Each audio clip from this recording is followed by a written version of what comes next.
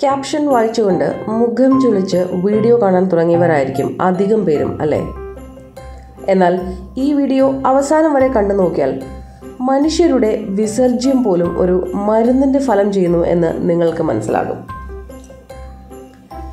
നിങ്ങൾക്കറിയാമോ? മനുഷ്യ ശരീരത്തിനുള്ളിൽ വളരെ സ്വാഭാവികമായി സൂക്ഷ്മാണുക്കളുടെ വലിയൊരു ലോകം തന്നെയുണ്ട്. മൈക്രോബയോം എന്ന് പൊതുവെ അറിയപ്പെടുന്ന അവർ ബാക്ടീരിയകൾ ഫംഗസുകൾ വൈറസുകൾ എന്നിവ അടങ്ങിയതാണ്.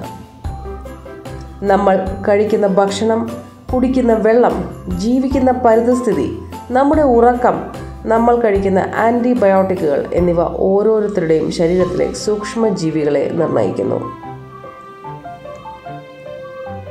അമേസിംഗ് പ്ലാനറ്റിന്റെ ഇന്നത്തെ വീഡിയോ ഈ സൂക്ഷ്മാണുക്കളുടെ പ്രാധാന്യത്തെക്കുറിച്ചും അതിൽ വരുന്ന ഏറ്റക്കുറച്ചിലുകൾ കൊണ്ടുണ്ടാകുന്ന ബുദ്ധിമുട്ടുകളെക്കുറിച്ചും അതിനായി നടത്തുന്ന വിചിത്രമായ വിസർജ്യ ചികിത്സയെക്കുറിച്ചുമാണ്. നമ്മുടെ ദഹന വ്യവസ്ഥയിൽ ഏതാണ്ട് ആയിരത്തി ഇരുന്നൂറോളം സൂക്ഷ്മാണുക്കൾ കാണപ്പെടുന്നു. ഇതിൽ ഏറ്റവും കൂടുതൽ കാണപ്പെടുന്നത് നമ്മുടെ വൻകുടലിലാണ്. ഇവയിൽ തന്നെ നല്ലതും ചീത്തയുമായ അണുക്കൾ ഉൾപ്പെടുന്നു. ഗട്ട് മൈക്രോബയോട്ട എന്ന് വിളിക്കുന്ന ഇവരുടെ വൈവിധ്യം അതിശയകരമാണ്. അതുപോലെ തന്നെ വിരലടയാളം പോലെ വ്യത്യസ്ത ആൾക്കാരുടെ മൈക്രോബിയം വ്യത്യസ്തമായിരിക്കും എന്നാണ് പറയപ്പെടുന്നത്. ആണ് പെണ്ണ് പ്രായം നിങ്ങൾ എവിടെ താമസിക്കുന്നു നിങ്ങൾ ആരുടെ കൂടെ അധിക സമയം ചെലവഴിക്കുന്നു എന്നതുപോലും ശരീരത്തിലെ സൂക്ഷ്മാണുക്കളുടെ വൈവിധ്യത്തെ ബാധിക്കുന്നു. കുറേ കാലം ഒരുമിച്ച് ജീവിക്കുന്ന ഭാര്യ ഭർത്താക്കന്മാരുടെ ശരീരത്തിൽ വർഷങ്ങൾ കഴിയുമ്പോൾ ഒരേ തരത്തിലുള്ള സൂക്ഷ്മാണുക്കൾ കാണപ്പെടുന്നതായി ഗവേഷണങ്ങൾ പറയുന്നു. ഇനി ചോദ്യം ഇതാണ്. ഇവയുടെയൊക്കെ പ്രാധാന്യം എന്താണ്? ദഹനത്തെ നിയന്ത്രിക്കാനും നിങ്ങളുടെ രോഗപ്രതിരോധ സംവിധാനത്തിനും ആരോഗ്യത്തിന്റെ മറ്റു പല വശങ്ങൾ പ്രയോജനപ്പെടുത്താനും സഹായിക്കുന്നതിലൂടെ ഗട്ട് മൈക്രോബയോം നിങ്ങളുടെ ആരോഗ്യത്തിൽ വളരെ പ്രധാന പങ്ക് വഹിക്കുന്നു. ഫൈബർ അഥവാ നാരടങ്ങിയ ഭക്ഷണങ്ങൾ തന്നെ രണ്ട് തരത്തിലുണ്ട്. പുളിപ്പിക്കപ്പെടുന്ന നാര് ഭക്ഷണവും പുളിപ്പിക്കാതെ ശരീരത്തിൽ നിന്നും അങ്ങനെ തന്നെ പുറന്തള്ളപ്പെടുന്നവയും. ഇതിൽ തന്നെ പുളിപ്പിക്കുന്നവയായ പയറുവർഗങ്ങൾ ഉള്ളി വെളുത്തുള്ളി എന്നിവ വിഘടിപ്പിക്കുന്നത് ഈ സൂക്ഷ്മാണുക്കളാണ്. അവ വിഘടിപ്പിക്കുമ്പോഴാണ് വയറിൽ ഗ്യാസ് ഉണ്ടാകുന്നത്. കീഴ്ശ്വാസത്തിന്റെ ഉത്തരവാദികൾ ആരാണെന്ന് ഇപ്പോൾ മനസ്സിലായില്ലേ? ഇനി നിങ്ങൾ സവാള ഇഷ്ടപ്പെടുന്നില്ല എന്ന് വിചാരിക്കുക.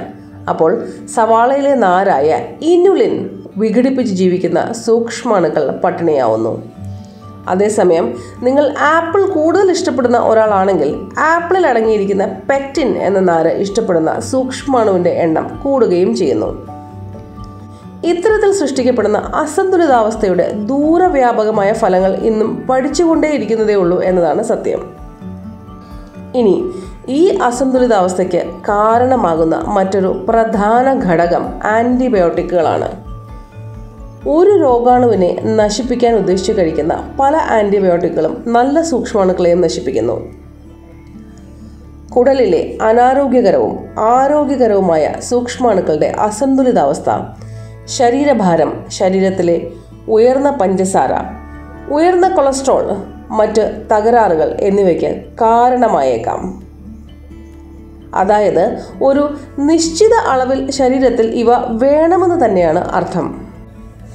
എന്നാൽ ക്ലോസ്ട്രീഡിയം ഡിഫിസിൽ കൊലൈറ്റിസ് എന്ന രോഗാവസ്ഥയിൽ ക്ലോസ്ട്രീഡിയം ഡിഫിസൽ എന്നൊരു ബാക്ടീരിയ പെറ്റുപെരുകയും കുടലിനെ നശിപ്പിക്കാൻ തുടങ്ങുകയും ചെയ്യുന്നു.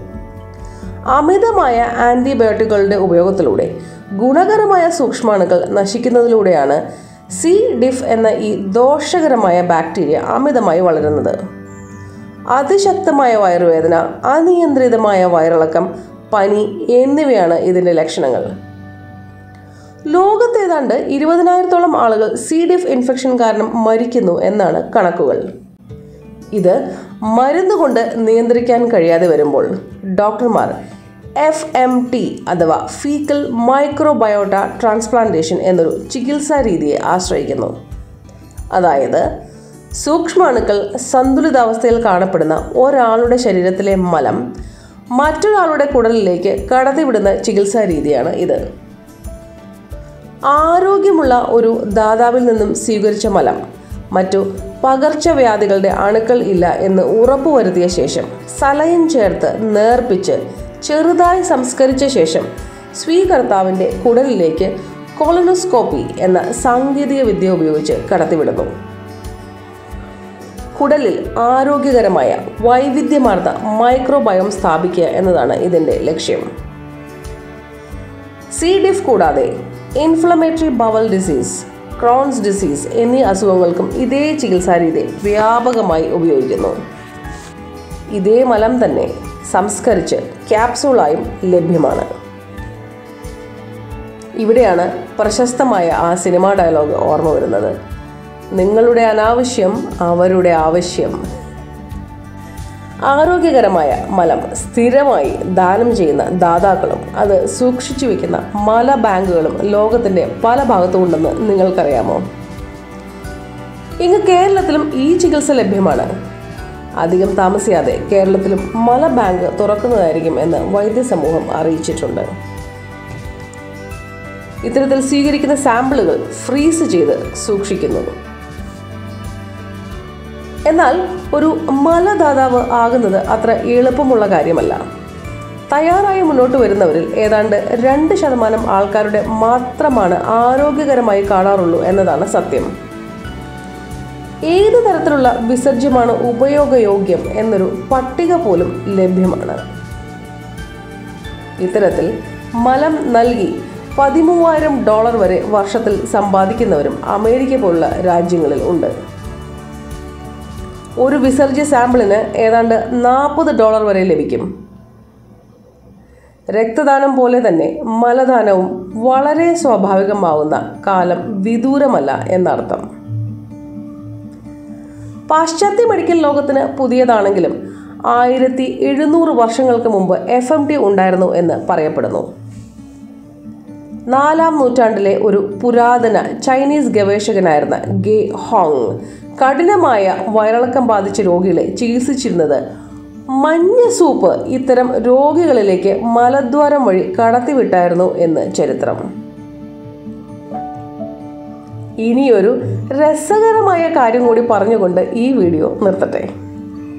ഗൂഗിൾ പ്ലേ സ്റ്റോറിൽ പൂപ്പ് മാപ്പ് എന്നൊരു ആപ്പ് ലഭ്യമാണ്. എന്തിനാണ് എന്നല്ലേ? നിങ്ങൾ എവിടെയൊക്കെ മലവിസർജനം നടത്തി എന്ന് താല്പര്യമുള്ളവർക്ക് രേഖപ്പെടുത്തി വയ്ക്കാൻ വേണ്ടിയാണ്. ഇത്തരം രസകരമായ അറിവുകൾക്കായി ഞങ്ങളുടെ ചാനലായ അമേസിംഗ് പ്ലാനറ്റ് സബ്സ്ക്രൈബ് ചെയ്ത് ബെല്ലൈക്കൺ അമർത്തുക.